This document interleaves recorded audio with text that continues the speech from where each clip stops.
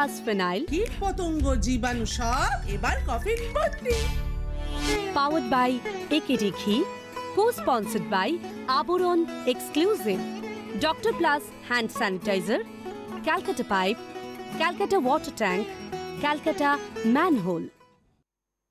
ফিরে এলাম বিরতির পর আপনারা দেখছেন doctor plus phenyl doctor plus phenyl প্রতিদিনের Rabindranath sponsors by doctor plus phenyl powered by AKD ঘি co sponsors Abaran exclusives doctor plus hand sanitiser Calcutta pipe Calcutta water tank Calcutta manhole সঙ্গে সৌমিদি রয়েছেন।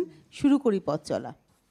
এই গানটি যে গাইব তোমাদের প্রতিদিনের রবীন্দ্রনাথের কবিগুরুর গান ছাড়া গাওয়া হয় না কিন্তু এটি রচনা করেছিলেন অতুল প্রসাদ সেন তো অসম্ভব কবি ভক্ত 1913 সালে। উনিশশো তেরো সালে যখন মানে নোবেল পুরস্কার পেলেন কবিগুরু সেই সময় হলে যে সম্বর্ধনা দেওয়া হয়েছিল না উনি ওটা এটা নাকি একান্তে রচনা করেছিলেন আচ্ছা। নিজের প্রতিদিন গাইতেন এবং কবিকে মানে কবির যে নোবেল পুরস্কার পাওয়াটা ওনার যে কতখানি মানে উন্মাদের মতো আনন্দ পেয়েছিলেন একবারে এই গানটা করেছিলেন কিন্তু কি অসম্ভব প্রাসঙ্গিক এখন দেখো। মানে যেটা দিয়ে আমি আজকে অনুষ্ঠানটা শুরু করেছিলাম মোদের গরব মোদের আশা এটা। অতুল প্রসাদ সেনের লেখা এবং এটা রবীন্দ্রনাথের উদ্দেশ্যে।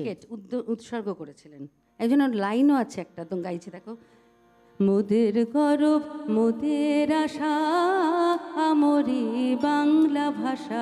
মোদের গরব মোদের আশা আমরি বাংলা ভাষা।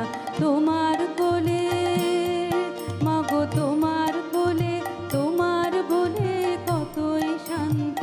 ভালোবাসা, আমরি বাংলা ভাষা, মোদের গরব, মোদের আশা, আমরি বাংলা ভাষা।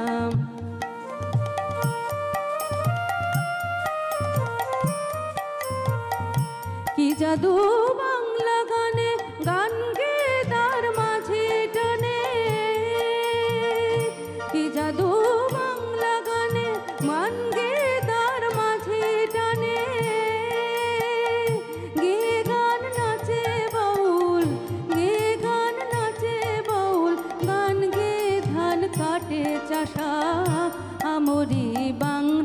ভাষা মোদের গরব, মোদের আশা আমরি বাংলা ভাষা।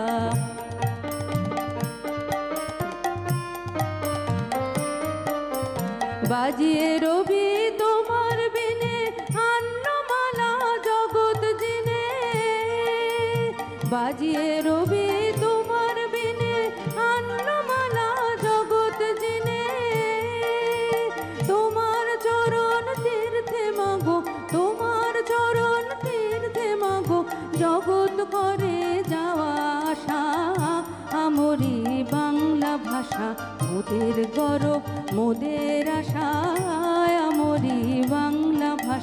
মোদের গরব, মোদের আশা আমরি বাংলা ভাষা। অসাধারণ। এবারে আমরা এগোবো, যেটা হচ্ছে বাংলা ভাষা নিয়ে আমাদের কথা চলছে। প্রশ্ন হলো, ভাষা কাকে বলে, তাই না? সুকুমার সেনের ভাষায় ভাষা হচ্ছে, মানুষের উচ্চারিত সুনির্দিষ্ট অর্থবহ ধ্বনির সমষ্টি হচ্ছে ভাষা। ভাষার কাজ হলো একজন মানুষের মনের স্পৃহা বা উত্তেজনা আরেকজন মানুষের কানের ভেতর দিয়ে মরমে প্রবেশ করিয়ে তার সেই স্পৃহার বা উত্তেজনার প্রতিক্রিয়াকে উপস্থাপিত করা। এখন কথা হলো, তবে পৃথিবীর সব মানুষ সুনির্দিষ্ট অর্থবহ ধ্বনি সমষ্টি ব্যবহার করে না কেন? যদি তাই করতে পারতো, তবে আজ ভাষা সমস্যাই তো থাকতো না। সবাই একরকমভাবে একই ধ্বনি সৃষ্টি করত। তাহলে এত ভাষার কথা আসতো না। মাতৃভাষার দাবিতে এইরকমভাবে প্রাণ যেত না মানুষের এই যে এতগুলো তরুণ তরতাজা যুবকের শুধু প্রাণ গেছে তা নয় একশো জনের উপরে আহত হয়েছিলেন। নির্বিচারে তো গুলি চলেছিল উনিশশো বাহান্নর আজকের দিনে। এবং সরকারি হিসেবে আমরা যে খবরটা পাই তার থেকে হয়তো বেশি। অনেক বেশি ঢাকা ইউনিভার্সিটি ইয়াং ছেলে ছেলেরা। তো সেখানে এখানেই হচ্ছে মাতৃভাষা ও মা মানুষের একান্ত আপন। মা যেমন তার জন্মদাত্রী দাত্রিনী ভাষাও তার হৃদয়ের একান্ত আপন। ভাষা হচ্ছে আমাদের জীবাণুভূতির বাহন। আমি যে মানুষ মানুষ জন্মেছি আমার যে অনুভূতি সেই অনুভূতির প্রকাশের মাধ্যম হচ্ছে আমার ভাষা। এবং সেটি আমার মাতৃভাষা আমার মা যে ভাষায় কথা বলেন সন্তানের কাছে মাতৃভাষা হচ্ছে তার মায়ের ভাষা। আমি আমার মাকে যে ভাষাতে কথা বলতে শুনব আমি কিন্তু সেই ভাষাতেই নিজেকে ব্যক্ত করতে পারব। এটাই হচ্ছে মাতৃভাষার মূল জায়গা। কেন এটাকে আমরা মাতৃভাষা বলি? মায়ের ভাষা। তো চলে যাই এবার পরের গানে।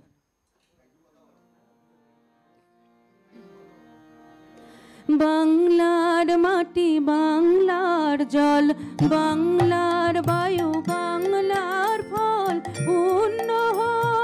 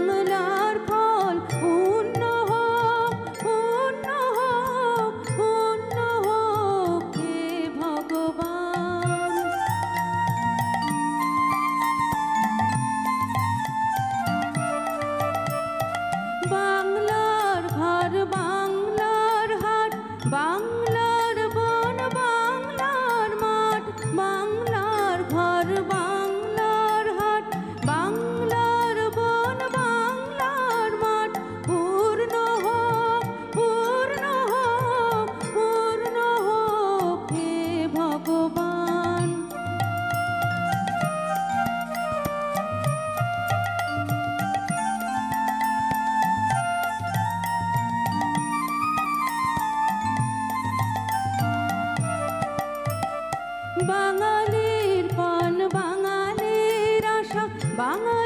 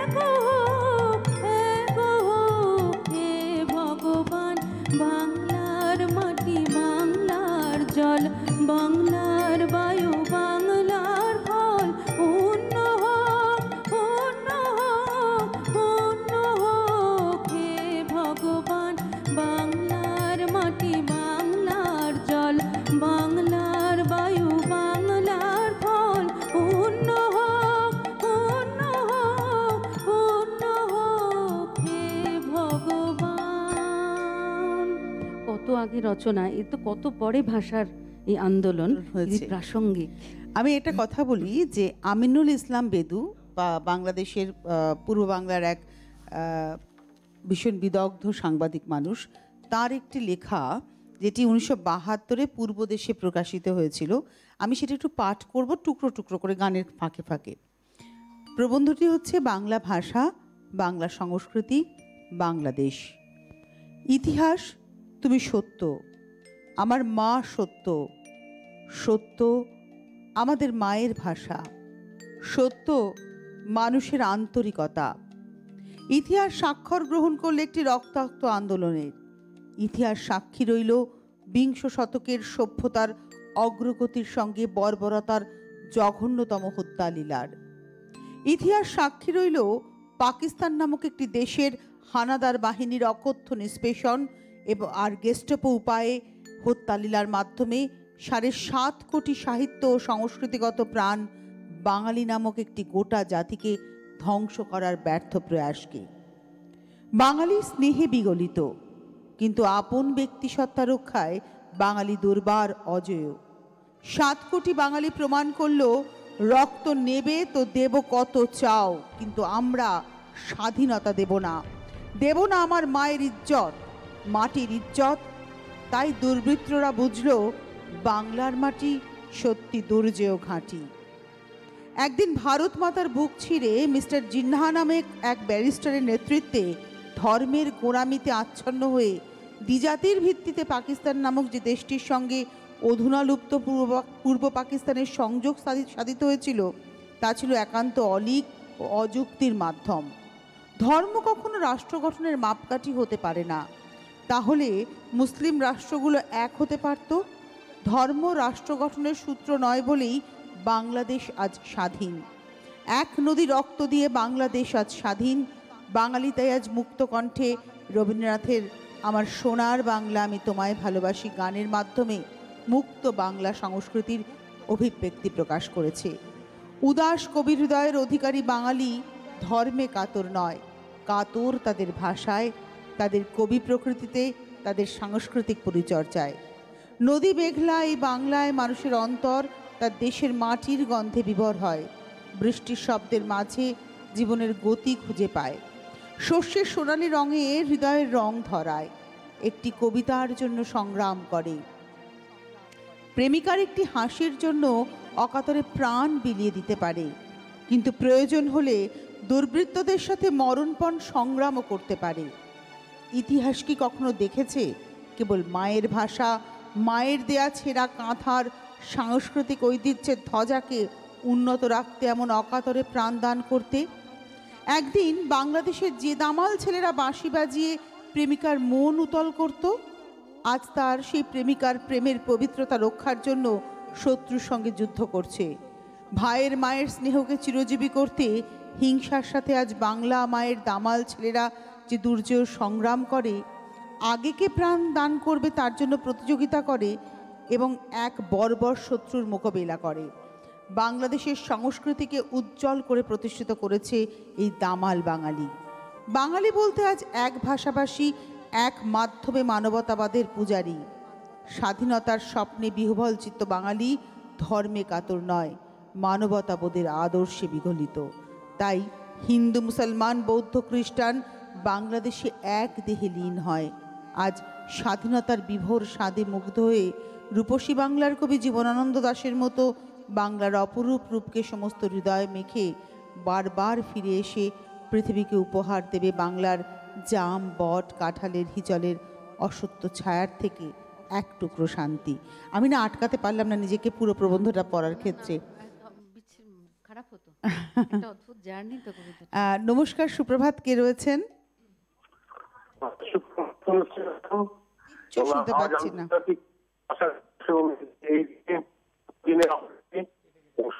নেটওয়ার্কের এমন সমস্যা আপনার কথাটা একটা শব্দটা গোটা গোটা আসছে না। এক একটা অক্ষর আসছে আমার কাছে।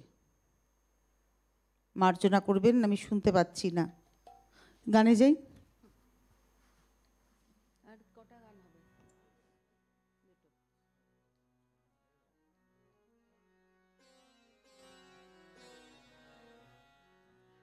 এবার তোর মরা গাঙে মান এসেছে। জয় মা বলে ভাষা তোরে। এবার তোর মরা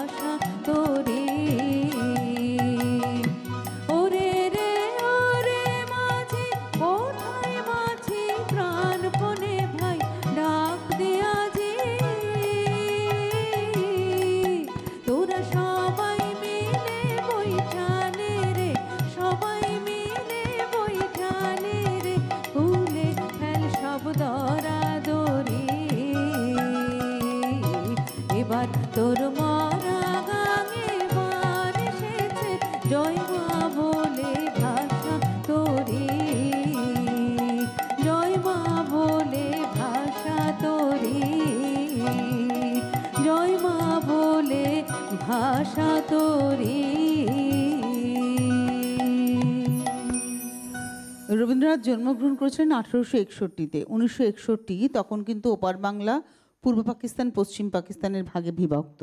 এপার বাংলা, পশ্চিম বাংলায় রবীন্দ্রনাথের জন্ম শতবর্ষ উদযাপন হলো। কিন্তু উনিশশো একষট্টি সালে রবীন্দ্র জন্ম শতবর্ষকে যে কীভাবে পালন করা হয়েছিল ওপার বাংলায়? এ প্রসঙ্গে বলা হচ্ছে যে, যেহেতু তখনকার পাকিস্তানের সামরিক সরকার রবীন্দ্রনাথকে বিজাতীয় কবি হিসেবে চিহ্নিত করে চিহ্নিত করে কবির জন্ম শতবার্ষিকী পালনের উপর নিষেধাজ্ঞা জারি করেছিল। কিন্তু ঢাকা বিশ্ববিদ্যালয়ের ছাত্র সমাজ ও পূর্ব বাংলার সংস্কৃতিসেবী প্রগতিশীল ব্যক্তিগণ সেই নিষেধাজ্ঞা মানলেন না।